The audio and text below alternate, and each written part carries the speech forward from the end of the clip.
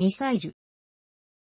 ミサイルとは、目標に向かって誘導を受けるか、自立誘導によって自ら進路を変えながら、自らの推進装置によって飛翔していく、軍事兵器のことである。誘導ミサイルあるいは誘導弾、とも言う。以下に、ミサイルの分類を示す。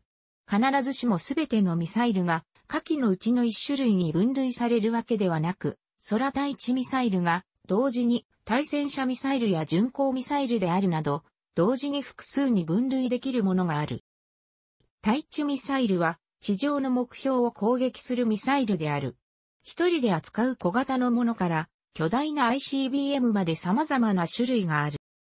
巡航ミサイル、CM は発射プラットフォームに関わらず大気圏内を目標まで水平に動力飛行するミサイルのうち、特に射程が長いミサイルである。長距離を飛翔するために固定翼航空機と同等に主翼とジェットエンジンを備えることが多く、長い航続距離を得る代わりに音速以下での揚力による飛行を行うものが多い。破壊対象は地上目標もしくは艦船であり、長距離の対地ミサイルや対艦ミサイルの別称と言える。航空機動用に撃墜を避けるために低空飛行を行うことが求められ、地表高度に沿いながら防空レーダー網を左右に避けながら複雑な飛行ルートを行うなどの高度な誘導装置を備えることで知られている。核弾頭を積んだ戦略ミサイルと通常弾頭を積んだ戦術ミサイルがある。ステルス性能の向上と並んで超音速巡航能力が求められており、2008年、現在はいくつかの超音速巡航ミサイルの配備がしまっているとされている。極超音速ミサイルとは、マッハ5.0以上の極超音速、ハイパーソニックで飛行するミサイルである、極超音速機。対艦ミサイルは、水上艦船を攻撃するミサイルである。艦船の移動速度は、車両と同等のため、対艦ミサイルを対地ミサイルの一部として扱うことがある。この場合の略号はではなくを用いる。洋上は日がともに探知範囲が大きくなるため対艦ミサイルは一般的な対地ミサイルより射程が長く、中には弾道ミサイルに匹敵する射程を持つミサイルもあり、これらは対艦用の巡航ミサイルとも呼べる。対戦ミサイルは水中の潜水艦を攻撃するミサイルで、その多くが弾頭相当として単魚雷を備えて着水時に分離する。ミサイルであるとともに対戦兵器でもある。対空ミサイルは空中の目標を攻撃するミサイルである。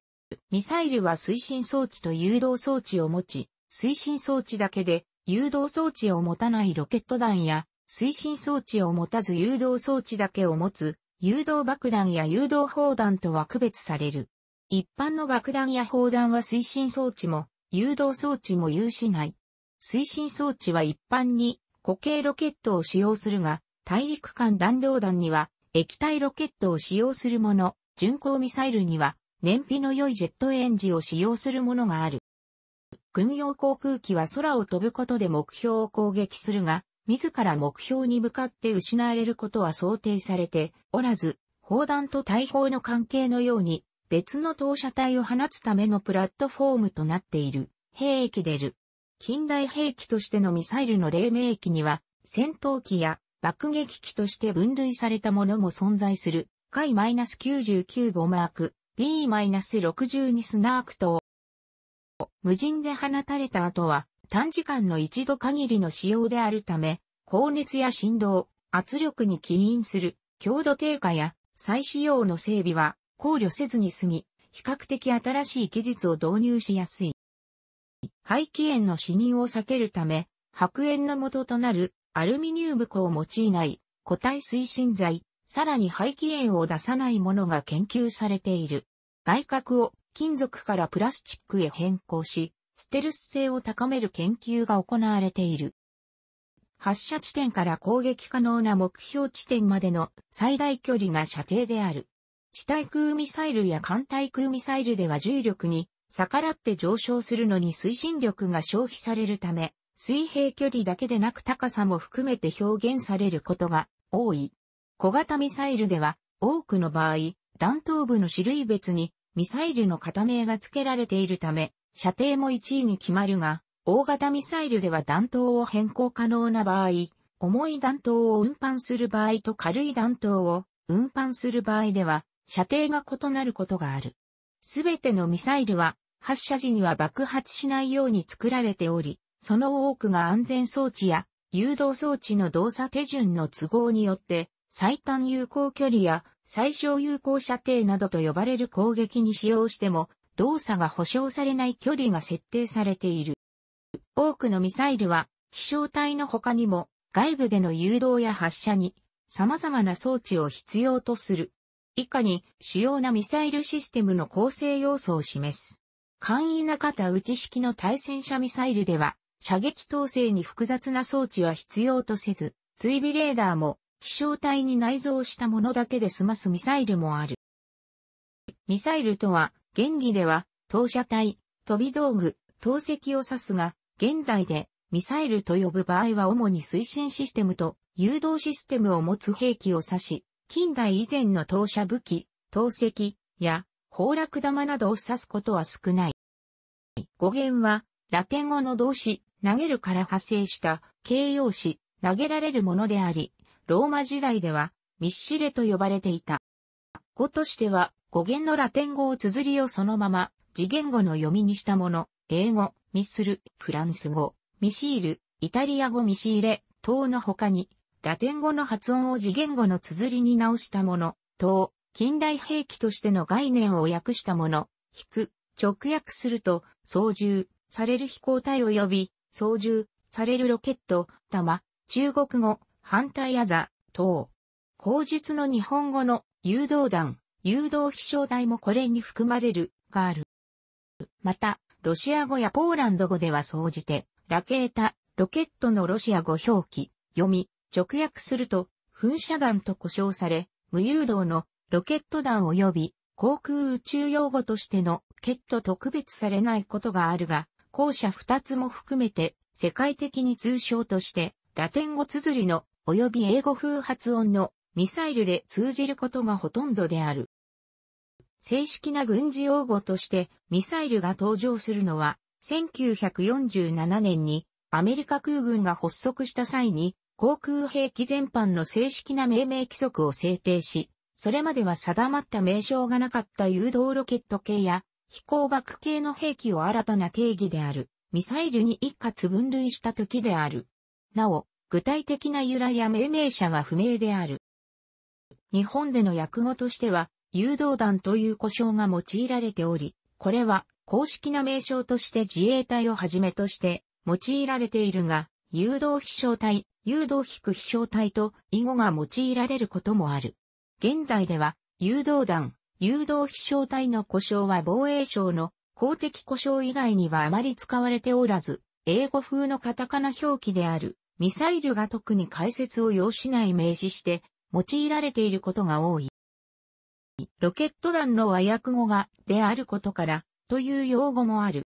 なお、各種のミサイルのうち弾道ミサイルのみは弾道弾、弾道対弾の呼称が和訳語として用いられており、弾道誘導弾とは呼称されない。ミサイルの飛翔体は、ほぼ同じような構造から成り立っており、構成する装置類を頭部から後部に向かって順に示す。モジュール化構造を備えた飛翔体では、筐体となる外角と特にそのモジュール同士の接続部に高い強度が求められる。推進ブースターが発射時の加速補助のために外部装着されることもある。ジェットエンジンが採用されていれば、玉体の一部に開口部が設けられ、空気取り入れ口が装備される。そういったミサイルでは、装甲翼とは別に主翼とも呼べる大きな翼を備えるものが多い。巡航ミサイルは誘導装置の一部として電波高度計を備えるのが一般的で衛星位置情報システムや地形地図情報システムも備えるものが多く、そういった装置のアンテナが露出される。小型ミサイルでは誘導用のワイヤーをビブより繰り出すものがある。目標を捜索、発見、識別するシステム。索敵装置には、レーダー、ソナーなどの捜索システムと発見した目標の識別を行う敵味方識別装置、IF、が含まれる。赤外線誘導ミサイルや長射程のミサイル、対地ミサイルの場合、ミサイル本体に搭載されていることも多く、英語ではこれをシーカーと呼ぶ。誘導装置はミサイルの先端付近に取り付けられ、目標を追跡、ホーミングシステム、終末誘導装置と呼ばれる。一種類しか搭載されていない場合は単に誘導装置と呼ばれる。走行用の操舵翼とは別に安定翼、イコール固定翼によって飛翔の安定性を高めるのが通常である。主翼とも呼ばれる。固定式と転調式のものがある。転調式安定翼では、ミサイル内に格納されているものと、ミサイルの周囲を囲むように折りたたまれているものがある。多くが、スプリングによって発射直後に転調する。操舵翼も転調式のものがある。弾頭は誘導装置の直後に置かれることが多く、ミサイルが目標を破壊するために必要な装置である。英語では、ウォーヘッドと呼ぶ。弾頭を起爆するための装置で、弾頭に組み込まれて使用される。英語では、フューズという。基本的には、以下の種類があり、多くの高性能新艦では、設定によって複数の基本的な機能を組み合わせて爆できるようになっている。ミサイルの推進燃料を収めている区画であり、ミサイル後部で大きな位置を占める。円筒形のロケット形態を取る限りは、電気配線などが燃料区画をまたいで上下をつなぐのにエレガントな解決策がなく、外部側面に張り付いている場合が多い。ミサイルの飛行方向を制御するには以下の方式がある。ミサイルを飛翔させる主エンジンには以下の種類がある。固体燃料ロケットはロケットモーターであり、液体燃料ロケットはロケットエンジンとする名称の使い分けも存在するが、定着した使われ方であるかは不明である。ミサイルの発射には複数の方式がある。主に艦船から発射されるミサイルでは、戦闘による被弾時や平時の火災時の誘爆を回避できないか検討されている。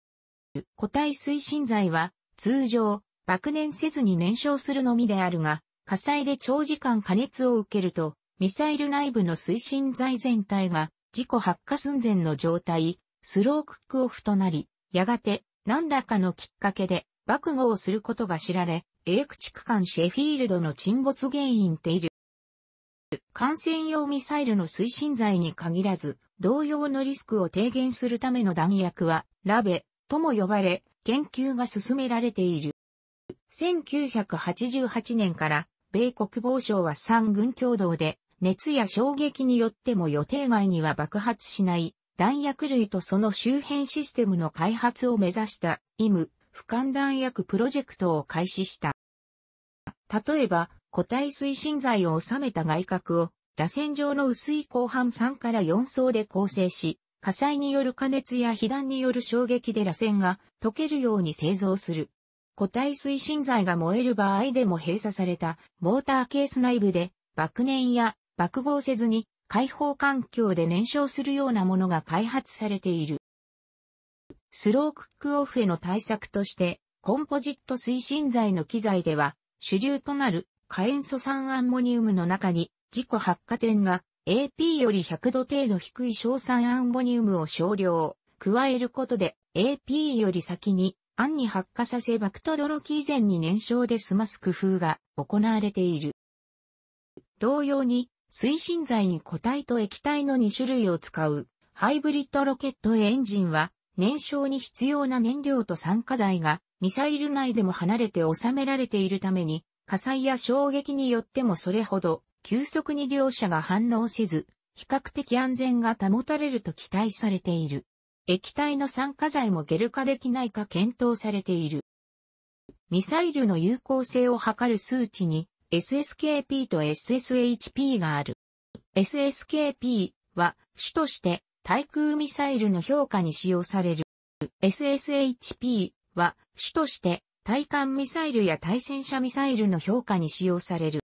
核磁気共鳴画像法 MRI を扱う現場で強い磁場の発生によって磁生体金属製品が診察装置や中の患者に向かって飛んでいくことをミサイル効果と呼ぶ。非常に危険なため、徹底した安全管理が求められる。ロケット花火のうち、安定翼を模したものが取り付けられているタイプの製品には、ミサイル花火、台付きミサイル等の商品名が付けられているものがある。